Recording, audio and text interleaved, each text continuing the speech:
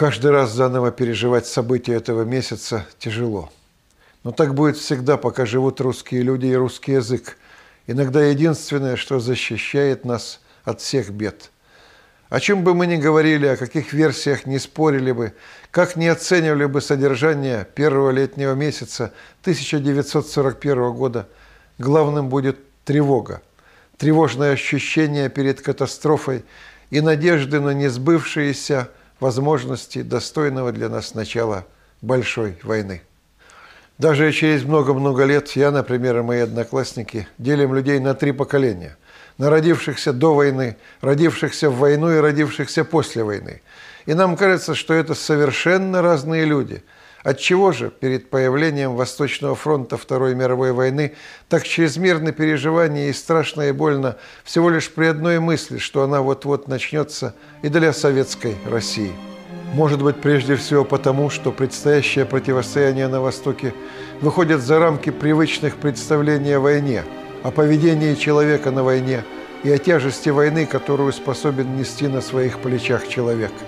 Дело даже не в невиданных людских потерях – Реки крови на Восточном фронте будут пролиты не только в упорнейших сражениях, но слишком часто в итоге преступлений и преступного ведения войны. Преступная государственность, так коротко и ясно сформулирует Карл Ясперс, когда Центральная и Восточная Европа будут лежать в развалинах.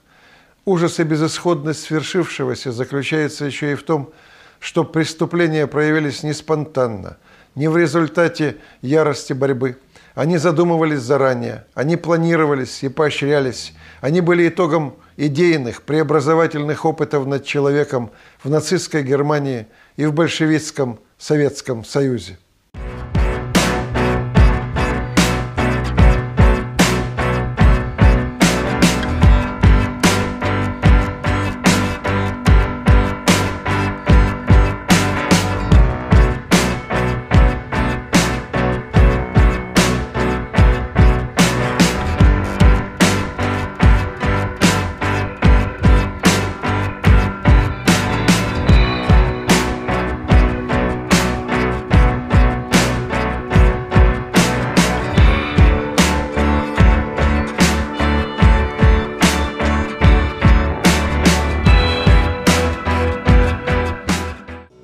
На Бреннерском перевале 2 июня Гитлер встретился с Муссолини. Диктаторам надо было обсудить конфуз с полетом Гесса в Англию, гибель линкора «Бисмарк», проблемы военных действий в Северной Африке и Средиземноморье.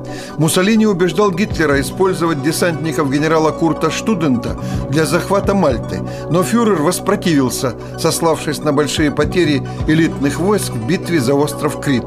Интересно, что о походе в Советскую Россию, деле уже решенном, Гитлер не сказал Дуче ни одного слова.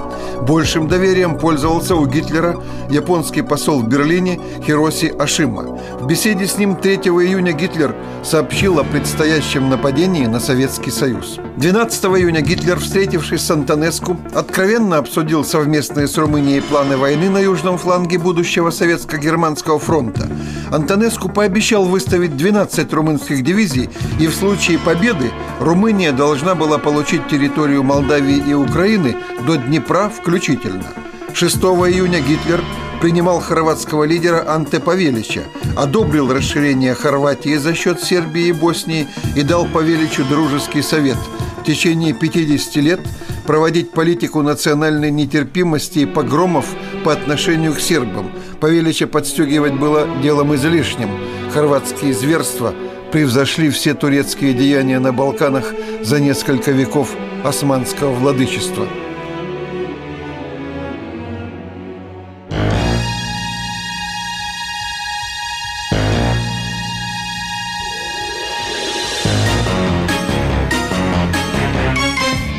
начале июня 1941 года фельдмаршал Кейтель, начальник штаба Верховного командования Вермахта, подписал директиву по обращению с политическими комиссарами. Комиссары не признавались в качестве солдат и должны были немедленно уничтожаться. В первую неделю июня младшие офицеры германских сухопутных войск сдавали экзамен минимум по знанию русского языка. Прошли консультации финских и германских военных по возможной координации совместных действий против Советского Союза. Сталин в начале июня нервничал, нередко срывал свой гнев на военных, не хотел принимать на веру очевидную информацию о предстоящей грозе. Нарком обороны маршал Тимошенко и начальник генерального штаба Жуков оказались между молотом Гитлера и наковальней Сталина – 3 июня в газетах было опубликовано постановление Совнаркома о выпуске государственного займа четвертого года третьей пятилетки на сумму 9 миллиардов 500 миллионов рублей. Ни одного трудящегося без облигаций нового займа, призывала советская печать. Большевистская власть продолжала грабить своих граждан. 6 июня НКГБ представил Сталину данные о сосредоточении немецкой армии численностью в 4 миллиона на германо-советских границах. Еще через пять дней Сталину доложили о том, что немецкое посольство в Москве получило из Берлина распоряжение подготовиться к эвакуации, а в подвалах посольства уже сжигаются архивные документы. Чего же более? На все эти в геометрической прогрессии умножающиеся признаки будущего пожара надо было как-то реагировать.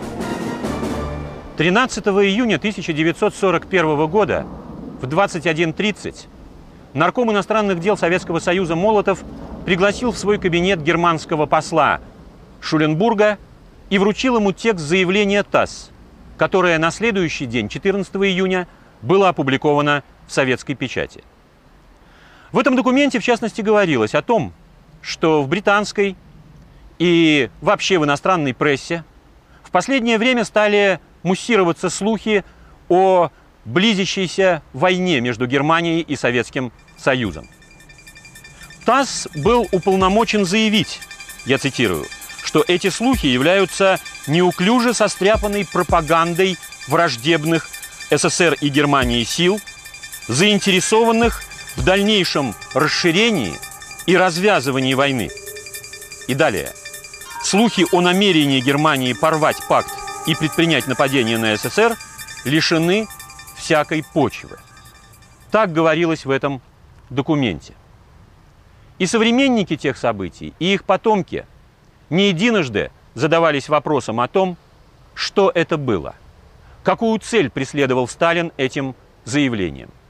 Сегодня, опираясь на исторические документы, на многочисленные документальные свидетельства – можно с достаточной определенностью утверждать, что это был зондаж.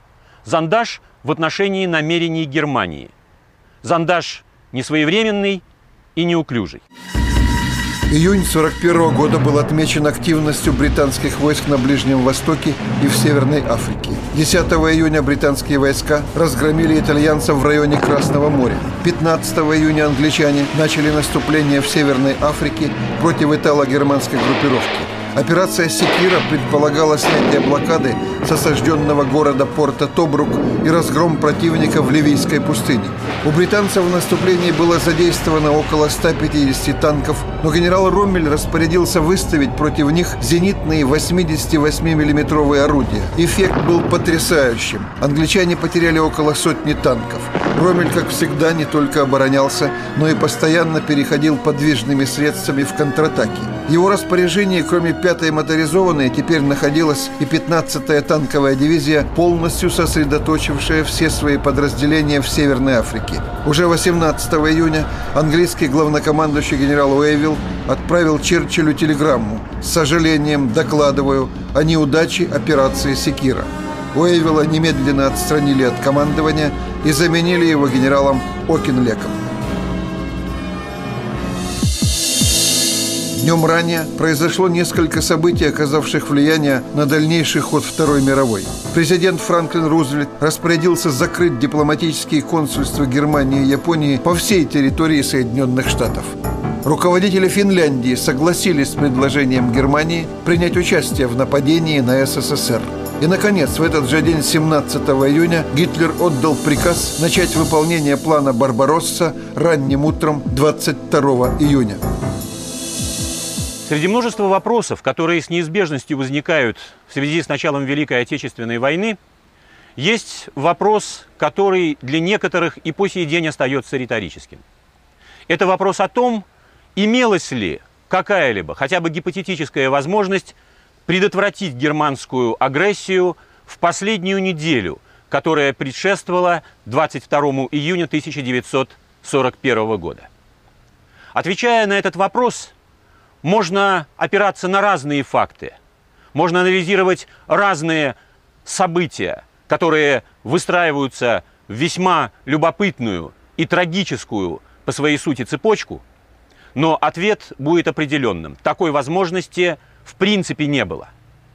Даже если Сталин в последние дни перед началом германского нападения предпринял бы какие-либо беспрецедентные меры, направленные на то, чтобы остановить Гитлера, остановить германский вермахт, ну, например, рассредоточить авиацию и тем спасти ее от возможных штурмовок и бомбовых ударов, выдвинуть войска второго эшелона к границе, привести в реальную боеготовность бронетехнику, по крайней мере, ту, которая на майские, на июньские дни 1941 года сохраняла свою боеспособность и была исправной, то все равно, мне думается, вряд ли эти, либо какие-либо иные подобные им меры могли бы поколебать решимость Гитлера. Накануне открытия еще одного фронта гитлеровской Германии сопутствовал дипломатический успех. 18 июня был подписан договор о дружбе и ненападении между Турцией и Германией. Творцом этого достижения был германский посол в Турции Франц фон Папен. Германия тем самым гарантировала себе безопасность южного фланга – Британские самолеты начали регулярное патрулирование над Бискайским заливом, через который немецкие субмарины выходили на атлантические коммуникации противника. Вскоре англичане получат американские самолеты «Либерейтор» и смогут начать воздушное патрулирование в Атлантическом океане от Исландии до Британских островов. Это заставит германские подводные лодки большую часть боевого похода находиться в подводном положении, что существенно ограничит их подвижность. Адмирал Деннис в июне располагал всего 20 подготовленными к дальним походам подводными лодками. С 1 по 18 июня немцы потопили в Центральной Атлантике 24 судна, и все они находились в одиночном плавании, а не в составе хорошо охраняемых конвоев. Успешнее были действия германских подводников у берегов Африки, где им удалось спустить на дно еще 38 судов. Черчилль в июне чаще всего говорил о единстве европейских народов в борьбе с нацистской угрозой. Английский премьер-министр убеждал своих слушателей, что постепенно в Европе возникнет прочный и постоянный антигерманский фронт. Судьба маленького человека всегда интересна. Из многочисленных мемуарных свидетельств о последних мирных днях июня 1941 года остановимся на двух – Студентка третьего курса математического факультета Ленинградского университета Вера Пирожкова приехала к своим родителям в Псков. Она была поражена тем, что в псковских магазинах совершенно неожиданно, буквально чуть ли не в первый раз за все предшествующие годы в огромном количестве появилось прекрасное, отлично приготовленное масло. Причем его можно было брать не по 100 грамм и даже не по килограмму на душу, а столько, сколько пожелаешь. Она купила это масло и рассказала дома об этом истории. Знакомый железнодорожник ее отца пояснил, что почему-то совершенно неожиданно составы с продовольствием, которые отправлялись в Германию, были остановлены на станции Псков. И поскольку не было рефрижераторов, то масло, ибо он был скоропортящимся продуктом, было выброшено в псковские магазины. Середине июня в Германии в типографиях начали печатать миллионные тиражи листовок. Для сохранения секретности их содержания типографские рабочие и упаковщики были задержаны на рабочих местах и под охраной полиции перешли на казарменное положение. Текст листовок был направлен против большевистской России и разъяснял германскому народу причины, по которым необходимо начать войну на Востоке.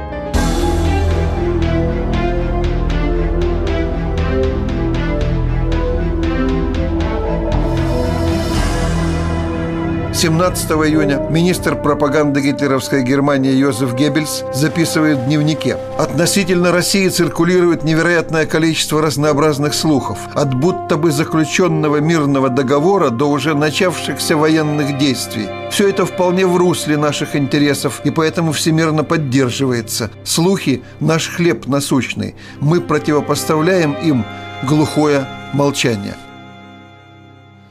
Реконструировать подлинную обстановку первых трех недель 1941 года вряд ли когда-либо удастся. И потому чисто научный подход к этому прологу трагедии обречен на провал. Кто же тогда должен выйти на авансцену вместо историков, аналитиков, политологов или психологов? Судьи или желающие быть судьями? Но помните, в Библии сказано, в те годы, когда правили судьи, случился страшный голод на земле. Да и кого судить? Вместо агрессора того, кто не подготовился к агрессии – Привычные философемы приводят нас к Сталину, не сумевшему понять, что опасность уже на пороге, а не в будущем году, к руководству Наркомата обороны и Генерального штаба, то есть к Тимошенко, Жукову и Шапошникову и другим, недооценившим гитлеровский вермахт, его прекрасно подготовленных солдат и офицеров, к тем, кто с тупым величием мечтал о наступательной войне и контрударах. Да, виноваты – но и обстановка накануне 22 июня была сложнее и запутаннее, чем мы себе сегодня представляем. Да, громадные тома можно составить из предупреждений, донесений, секретной информации, записи радиопереговоров и анализа тех или иных фактов. Но, во-первых, руководству Советского Союза очень хотелось отложить войну хотя бы на полгода. Во-вторых, донесения разведки были очень противоречивы. Из них создана, кстати, обширная мифология. Например, о том, что Рихард Зорге из Токио сообщил точную дату нападения Германии. На самом деле никаких точных дат Зорге не сообщал. Он писал о близкой войне как о стратегической неизбежности, а вот ложную точную дату неоднократно доводили до сведения Сталина. И как ему было реагировать, если война назначалась на 15 мая, потом на 22 мая, 25 мая, 12 и 15 июня, но каждый раз нападение не происходило? Может быть, войну в СССР уже устали ждать, и половину этих ложных дат подбрасывала сама немецкая разведка в качестве дезинформации.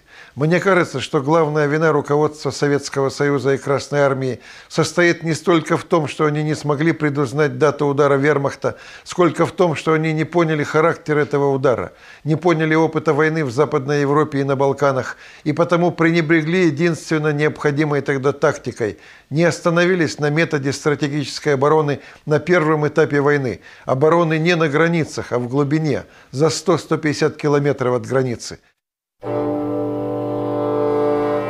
Не все, конечно, советские маршалы и генералы полагали, что воевать придется только на чужих территориях. Народный комиссар Советского военно-морского флота адмирал Кузнецов с первых дней июня настойчиво добивался перевода Балтийского, Черноморского и Северного флотов на режим боевой готовности номер два. Это было делом опасным, легко можно было заполучить ярлык паникера и труса. 19 июня адмирал наконец-то добился желаемого. С этого дня советский флот отменил отпуска личного состава, перешел на ночное затемнение применение военно-морских баз. Каждый военный корабль готовился к близкой войне.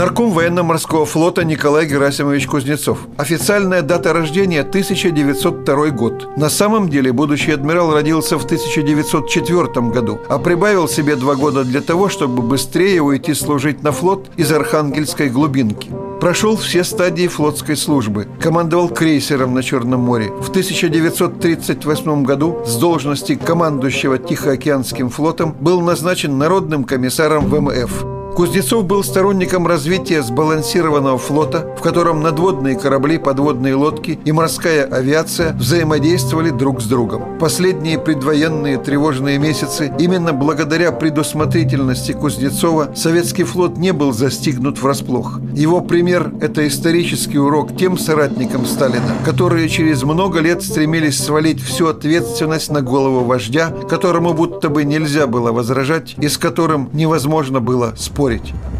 20 июня в Самарканде началось вскрытие гробницы склепа Гур и Мир, в котором был похоронен завоеватель и полководец Тимур. В раскопках, кроме археологов, активное участие принимали сотрудники НКГБ. Когда была отодвинута крышка гроба и обнаружен скелет, одна нога которого была короче, сомнений, что это останки Тимура, не осталось. Хромота его была известна из достоверных источников. Древнее же пророчество утверждало, что вскрытие склепа Тимура приводит к началу войны.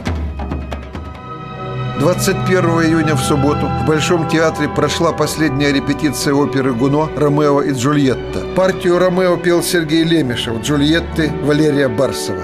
Премьера была назначена на воскресенье 22 июня. Последний мирный день в Советской России был не таким уж и мирным. На западных границах группы немецких диверсантов вырезали линии проводной связи между штабами частей Красной Армии, убивали советских связистов. Люфтваффе получили приказ сбить рейсовый самолет «Дуглас», вылетевший по маршруту Берлин-Москва. Ни одного немецкого пассажира на этом рейсе уже не было. Но истребители Геринга не смогли вечером обнаружить рейсовый «Дуглас». Весь субботний день множились признаки приближающейся войны. Появились перебежчики, германские солдаты с информацией о начале наступления вермахта. До полуночи их было уже двое. После нуля часов перебежали еще два немца в военной форме. В кабинете Сталина в Кремле около 7 часов вечера в присутствии членов Политбюро нарком обороны маршал Тимошенко сообщил об очевидных признаках близкой войны и на вопрос Сталина, что делать, ответил, что надо немедленно дать директиву всем приграничным округам привести войска в полную боевую готовность. Слово «полную» Сталину не понравилось. Оно могло, по его мнению, спровоцировать немцев. Тимошенко добавил, что Генштаб уже составил проект такой директивы. Через полчаса начальник генерального штаба генерал армии Жуков зачитал проект этой директивы для войск западных военных округов. Директива, переданная поздним вечером 21 июня 1941 года Тимошенко и Жуковым в штабы западных военных округов, которые по сути уже становились фронтами, носила, безусловно, странный характер. У нас складывается такое впечатление, что эта директива была вынужденной уступкой Сталина руководству Народного комиссариата обороны. Потому что войска, которые вот-вот должны были пасть жертвой нацистской агрессии, ориентировались не на активную оборону, а призывались не поддаваться ни на какие провокации – которые могли бы вызвать крупные международные осложнения. Такое впечатление, будто бы Сталин знал, что такого рода провокации могут иметь место. И своему источнику Сталин доверял гораздо больше, нежели чем всем источникам разведывательного управления Генерального штаба Красной Армии. Что это мог быть за источник? Здесь опять приходит на ум знаменитый майский полет Ю-52 в Москву. С какой целью он был совершен? И вот тут мы подходим вплотную уже к границе домыслов и фантазий. Как бы там ни было, но директива Тимошенко и Жукова сыграла преступную роль. Войска оказались застигнуты врасплох немецким нападением, а можно только представить себе, что бы могло быть с теми представителями командно-начальствующего состава Красной Армии, которые все-таки рискнули бы привести свои войска в состояние повышенной боевой готовности, ориентировать их на активную оборону и тем самым поддаться на провокации. И вот таким образом нельзя не упомянуть еще об одном трагическом эпизоде, связанном с 21 июня. В этот день, 21 июня 1941 года, бывший командующий Ленинградским военным округом и герой Советско-финляндской войны генерал Кирилл Афанасьевич Мерецков был арестован в поезде Ленинград-Москва. Меркуловские исследователи Шварцман, Родос и Иванов привезли его в Сухановскую тюрьму. Там Мерецков был сфотографирован в анфас и в профиль. С него содрали знаки различия, сняли сапоги, а затем до полу смерти избили резиновыми дубинками. И, наконец, для того, чтобы, видимо, у него не оставалось никаких иллюзий по поводу своей грядущей судьбы, всей исследовательской бригады помочились ему на голову, оставив лежать несчастного генерала в луже следовательской мочи до утра. Действительно, начиналась совершенно новая, другая, еще ни разу неизведанная России война – которой никто не мог себе представить меру человеческих страданий.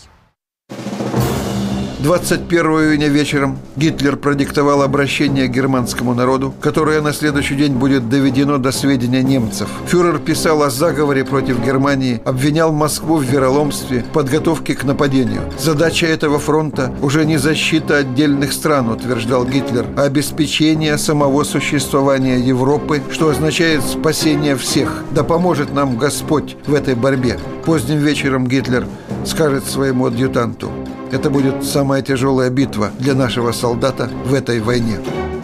В кремлевском же кабинете Сталина до 23 часов задержались Молотов, Ворошилов и Берия. Берия пытался пошутить на прощание, сказав, что Гитлер, наверное, не умеет плавать и потому никак не решится атаковать Англию. Через 15 минут Сталин уже ехал отдыхать на ближнюю дачу в Кунцево. В ящике рабочего стола генерального секретаря лежал доклад военного атташе советского посольства во французском Виши, в котором сообщалось, что по достоверным данным нападение гитлеровской Германии на Советский Союз начнется ранним утром 22 июня. Сталин успел прочитать прочесть доклад и написать резолюцию на полях.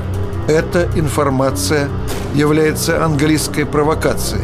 Разузнайте, кто автор этой провокации и накажите его. По этому делу наказать, кажется, никого не успели.